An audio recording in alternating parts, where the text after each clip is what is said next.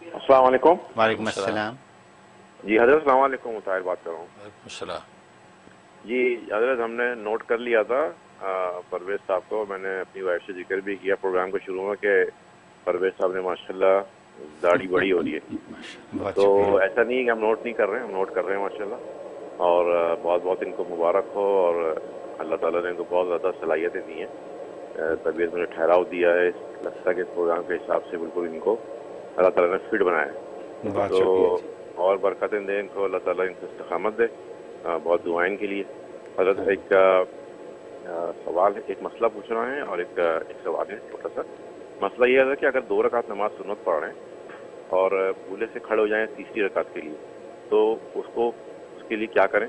नमाज़ पढ़ के दोबारा रिपीट करें या चार रकातें पूरी कर लें? एक तो ये था।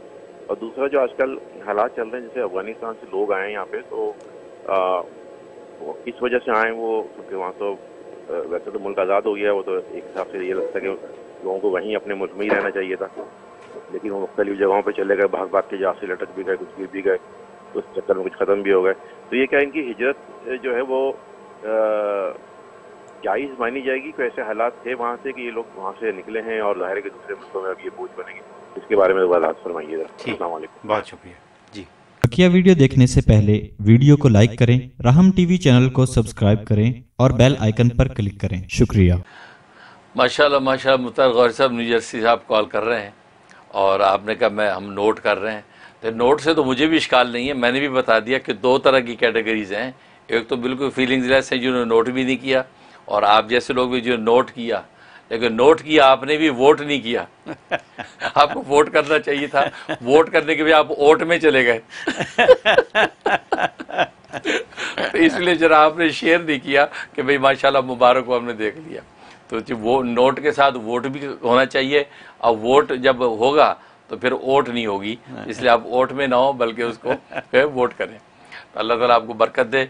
और बाकी ये कि आपने जो पहला सवाल किया कि दो रकात नफिल आपने पढ़ी ये सवाल था। दो रकात सुन्नत। सुन्नत फिर और और उसमें तीसरी रकात में खड़े हो गए। तो फिर क्या करें क्या चार अच्छा। चार, चार मुकम्मल करें या नमाज़ तोड़ दें दोबारा से अच्छा पढ़ें अच्छा। ये पूछा। हाँ तो अच्छा दो रकात सुन्नत आपने करनी थी लेकिन आप जो है ना वो दो पे सलाम नहीं फेरा बल्कि आप तीसरी के लिए खड़े हो गए। अब उसके अंदर आपको जो है वो दोनों ऑप्शन है।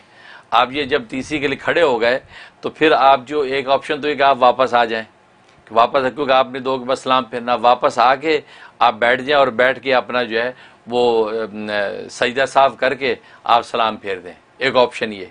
एक ऑप्शन ये है कि आप जो है वो खड़े रहें और दो रकात और साथ मिला लें। उसमें होगा कि वो दो सुन्नत है और बाद वाली दो जो है नफिल हो जाएगी और दो जब साथ मिला लेंगे तो आखिरी कादे में आप फिर जो है वो सजदा साफ़ करके सलाम फेर दें। तो ये दोनों ऑप्शन है। तो इसलिए फ़ुका ने लिखा कि जब आप जो ने बैठना था, सलाम फेरना था और गलती खड़े हो गए तो अगर आप खड़े होने के करीब हैं या बैठने के करीब हैं, उसके मुताबिक फ़ैसला करें। अगर बैठने के करीब है तो फिर बैठ जाएँ और फिर सही साहब करके सलाम फेर दें। और खड़े होने के करीब हैं तो फिर ये मैंने जैसे बताया कि दोनों ऑप्शन हैं कि आप या तो दो रकात मिला के सलाम फेर दें, और चाहे तो आप जो है ना वो वो कर लें। और बस औकात ऐसा होता है कि इंसान फजर की नमाज़ में पहुँचता है। अब फजर की नमाज़ में पहुँचा के नमाज़ खड़ी है, अब आदमी खड़ा हो गया सुनते पढ़ते हुए। अब क्या करे? उसमें अगर दो रकात मिलाएगा तो फजर की वो आपकी रकातें चली जाएगी, इमाम साहब दूसरी तीसरी रकात में चले जाएँगे। तो वहाँ पर जो फ़ोका ने कहा कि फिर आप वापस ही लौट आएँ, वापस लौट के अपना जो है, वो सही साहब करके सलाम फेर दें। और बाकी दूसरा सवाल जो आपने किया कि अफ़गानिस्तान के जो हालात हैं, उसके हवाले से तो वहाँ की हुकूमत के हवाले से, तालिबान के हवाले से तफसीली गुफ्तु तो मैं पिछले प्रोग्राम में कर चुका हूँ, और वो क्लिप भी माशाल्लाह बहुत जो है वो दुनिया भर में मकबूल हो रहा है, और बहुत मतदिल मैंने जो एक तजिया कर दिया था तो माशाल्लाह उसको बहुत से लोग अप्रिशिएट कर रहे हैं। और बाकी ये कहा, ये कहना कि वहाँ से लोग यहाँ पे आ रहे हैं, भाग के आ रहे हैं तो ये हिजरत तो इसका हिजरत से कोई ताल्लुक़ नहीं है, कि वो हिजरत जो एक इबादत है, वो हिजरत तो अपने दीन को बचाने या दीन को बनाने के लिए होती है। दीन और ईमान को बचाने के लिए इंसान या हिजरत करे किसी कुफरस्तान से इस्लामिस्तान के अंदर जाए तो ये जैसे मक्के से मदीने की तरफ़ गए, अपने दीन को जो वो बचाए, दीन ईमान को बचाने के लिए। या दीन ईमान को बनाने के लिए आप जो वो अपने ऐसे मुल्क से, पाकिस्तान से मदीना हिजरत कर गए, ताकि मदीना तय्यबा में और ज़्यादा अपने दीन को बढ़ाएँगे, तरक्की करेंगे। तो वहाँ पर इस तरह की तो ये हिजरत होगी जिस, जो हिजरत इबादत है।